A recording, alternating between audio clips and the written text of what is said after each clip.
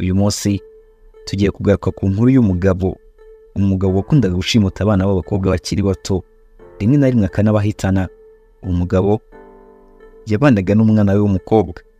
Babanaga nk'umugore n'umugabo kandi ari umwana yibyariye. Umugore wa mbere mbere y'uko asa n'umugore wa kabiri nawe wiyahuye uwo mugabo yasaga nk'aho afite ikibazo cyo mu mutwe. Nyuma na nyuma uwo mwana we w'umukobwa yaje guhinduka umuntu uhiga abantu bica abana bakiri bato b'abakobwa. Ikaze. Byose byatangiye umugabo witwaga john. Ukunda kujya aryamana n'umwana we w'umukobwa. Umwana we w'umukobwa ntiyabishakaga. Umwana w'umukobwa yitwaga zo nubwo atabishakaga nta kintu yashoboraga gukora. Uwo mugabo wari papa we. Yagiraga ubugome bwinshi bukabije. Yatinyaga ko yazamugirira nabi. Bityo bigatuma yemera ibyo yamukoreraga byose. Birimo no kuryamana nawe.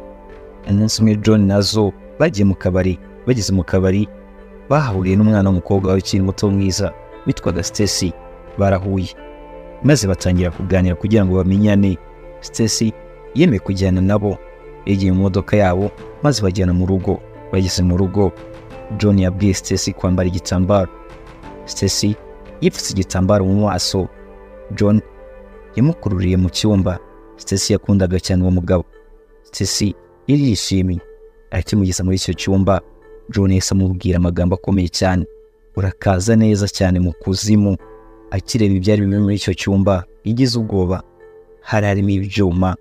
N'ibindi bikoresho byo kubabaza abantu. Stacy yagerageje gucika. Ariko John ahita amufata. Ntawe gucikira yari afite umwana w'umukobwa. Wari wajyanye mu rugo n'umugabo atarazi. Zone wari muri iyo nzu yumvaga cyane Stacy ataka nyamara ntacyo yashoboraga gukora.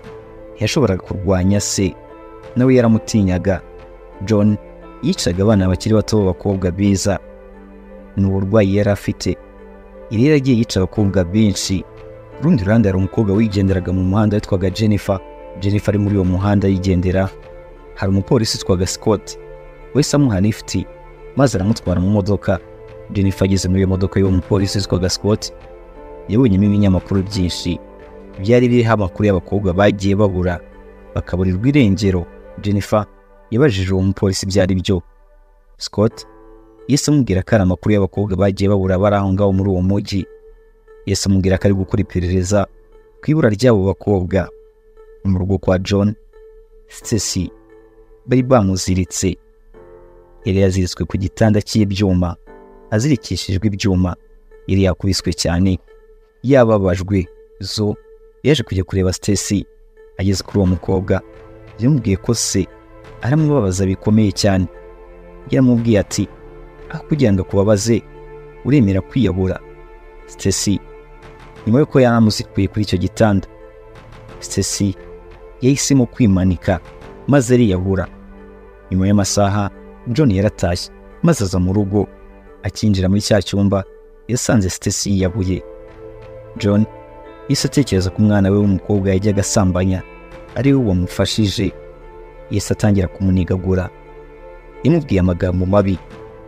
Yahise amubwira ko agomba gufata uwo murambo wa Stacy akawukatagura ubwe kuko yari yamufashije kwiyahura. Byasaga nkaho John afite ikibazo mu mutwe. Yari umugome cyane. Zo yarabikoze ariko nubwo yamukase akaguru ntabwo yabishakaga.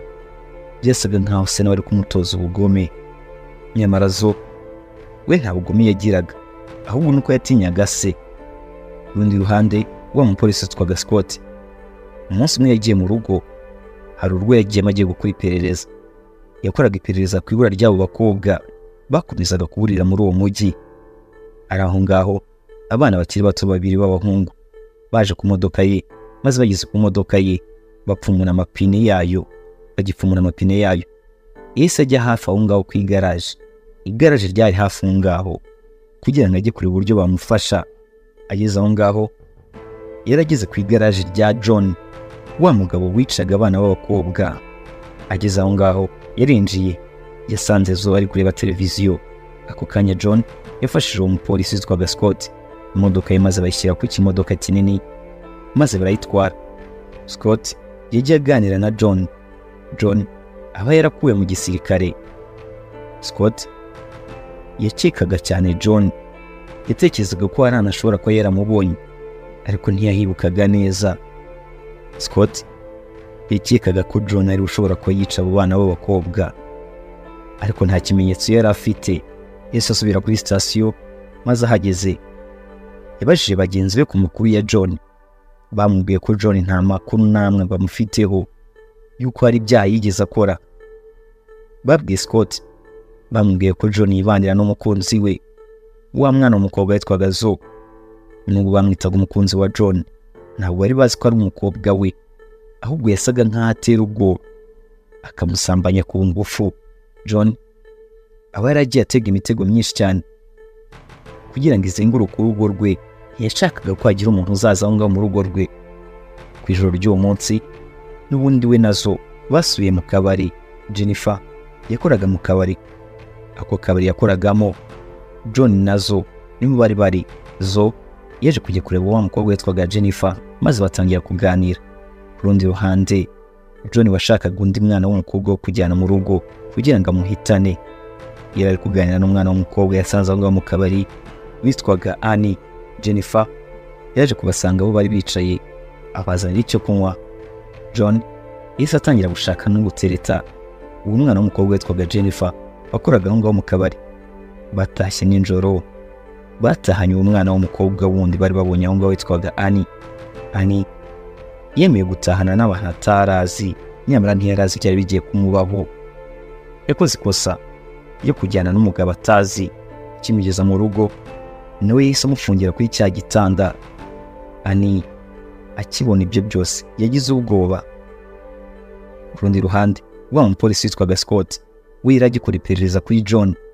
Yakekaga ko john ashobora kuba ari we wica abo bana b'abakobwa bari bakomeje kubura aho ngaho mu mujyi nyuma yo gukora iperereza kuri john scott yaje kubona amakuru ko john yakuwe mu gisirikare. Yaje kubona ko john yasezeranye n'umugore. Nyuma y'iminsi mike cyane basezeranye. Uwo mugore agahita yiyahura. Akimara kubona ayo makuru yose yahise atangira gukeka john. Mu rugo kwa john john yari yaziritse wa mwana w'umukobwa kuri cya gitanda cy'ibyuma. Ani? Yari ari kubabara. Ku rundi ruhande zo yarabirebaga byose. Yabireberaga mu kobo gato kandi mu gikuta. Nyamara ntacyo yashoboraga gukora ngo afashe uwo mwana w'umukobwa. Umunsi wakurikiyeho zo yaje kujya muri ka kabari ajya kuganira na jennifer. Yagiye ari wenyine. Nyamara mbere yo kugira byinshi cyane baganira. John yahise aza maze ahita ahamuvana aramucyura. Bageze mu rugo. John yarongeye atangira kubabaza ani yamukubitishaga amashanyarazi. Ani yamusabye imbabazi. Umwana w'umukobwa yaratakambye yamubwiye ko atakomeza kubabara gutyo. Yamusabye ko yahita amwica. Aho kugira ngo akomeze kumubabaza. Zo yari yicaye muri salo. Zo yari arambiwe ibyo byose. Yafashe imbunda. Yahise atekereza kwiyahura cyangwa se akajya kwica se. Ni ibintu bibiri yatekerezaga ko yakora. Kugira ngo ibyo byose bidakomeza nawe yasaga nk'amaze kurambirwa kubaho muri ubwo buzima bwo kujya kuzana abana b'abakobwa. Babageza mu rugo. Papa we. Nubwo yamusambanyaga ku ngufu agahita abahitana. Yasanze se muri icyo cyumba. Ahita amutunga imbunda. Yasaga nk'agiye kumurasa. Ariko yabuze imbaraga zibikora. Ahubwo nyuma y'iminota zo yaje guha imbunda ani ani yese yiyahura. Ntiyashakaga gukomeza kubabazwa muri ubwo buryo. Scott yakomeje gushaka amakuru kuri john. Yaje kujya ku kigo kimwe cy'ishuri.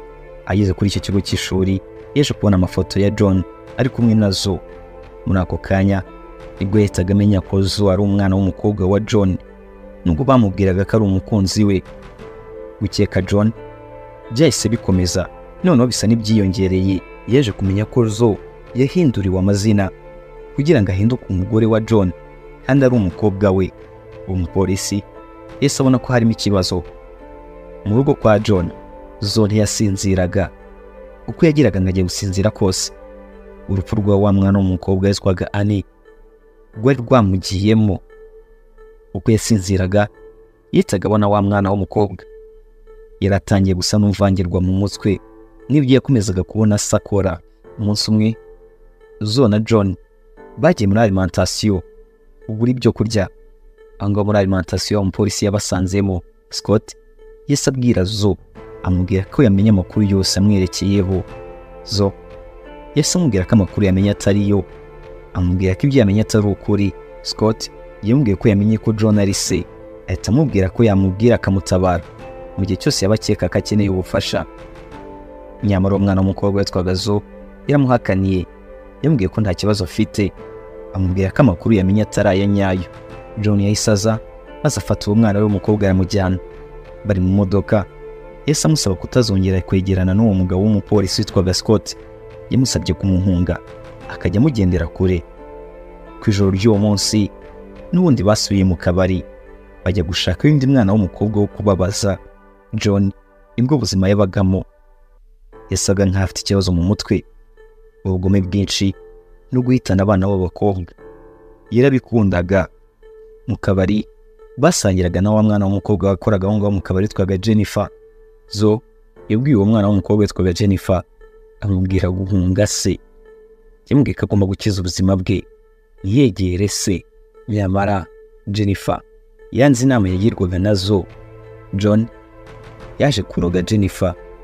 Irajya ajya mu kirori ari kunyweramo ashyiramo ibintu byari gutuma asinzira.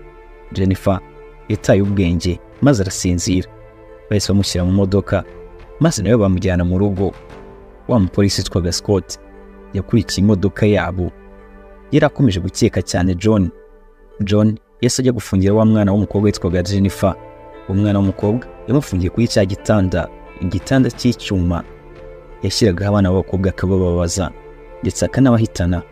Scott yaje kugera hafi y'urugo rwa John. Yatangiye kugendagenda. Nyamara ari kugendagenda hafi aho ngaho ya mitego ya John yaramufashe ahita avunika ukuguru. Scott yaratabaje cyane. Yari ari kubabara. Jennifer bari bafungiye kuri cya gitanda yaje kugarura ubwenge maze arabyuka.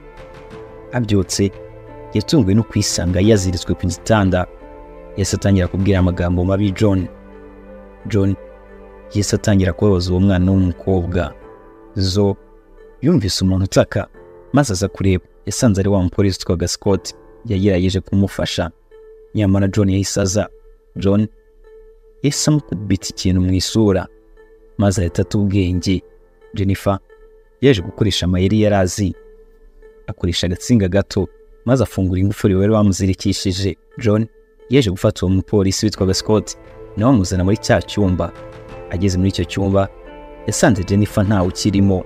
Akibona ibyo byose. Yese akubita wa mwana we w'umukobwa witwaga Zo. Yatekerezaga ko zari we watabaye Jennifer. Bigatuma acika. Yahise ajya gufata imbunda ye. Maze ajya guhiga uwo mwana w'umukobwa witwaga Jennifer. Nyuma y'amasaha wa mupolisi witwaga Scott yaje kugarura ubwenge. Yabyutse ashimira cyane umwana w'umukobwa witwaga Zo amushimira kuba yamufashije muri iryo joro. John we yazengurukaga ashakisha Jennifer. Jennifer yirishe inyuma y'igiti. Yari afite icyuma.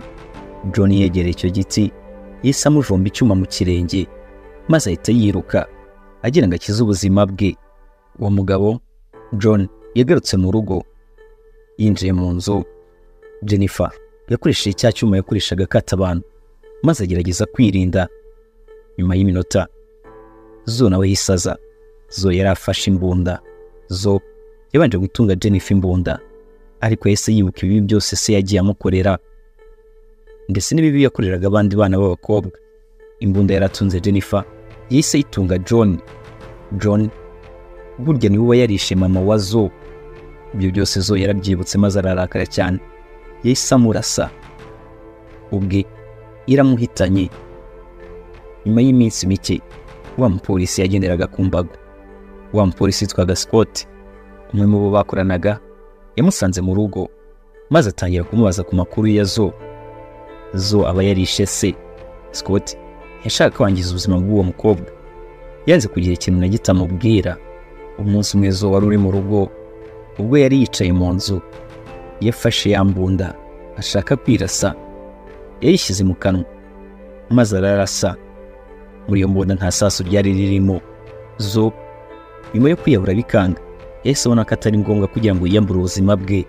Nyuma y'imyaka mike ibyo byose bibaye umunsi umwe zo ndetse na Jennifer bari bari kumwe. Bari batunze imbunda undi mugabo undi mugabo nabo bajya bica abana b'abakobwa. Zo na jennifer. Baba barahindutse abantu bahiga abantu bica abana b'abakobwa bakiri bato. Uwo mugabo bari batunze imbunda bamubwiye ko afite amahitamo abiri. Kwirasa akiyica cyangwa se bo bakamwiyicira cyangwa se wakijomba icyuma agapfa. Zo na jennifer baba bariyemeje kumara abantu bose bagenda bica abana b'abakobwa bakiri bato. Ndabashimiye mwese. Reka ngushimiye cyane wowe wakoze subscribe hano kuri The Bloss Entertainment. Nawe utarayikora ushobora kuyikora kugira ngo inkuru nk'izi ngizi tugarukaho n'ujya ucikwa na zo nk'inkuru y'umwana w'umukobwa witwaga zo zo yajya asambanywa na se. Se aba yarishe mama we akajya amufata ku ngufu. Ariko yari anafite ikibazo cyo kujya yica abana b'abakobwa bakiri bato beza. Yasaga nk'aho ari uburwayi afite. Uwo mugabo yari umugome nyamara uwo mwana we w'umukobwa yagiye asambanya inshuro nyinshi n'ubwe ni we wamwiyiciye. Nyuma yo kwica se yesi yiyemeza kujya ahiga abandi bagabo bari bameze nka se. Bica abana b'abakobwa. Ntimuzacikwe n'inkuru zacu zitaha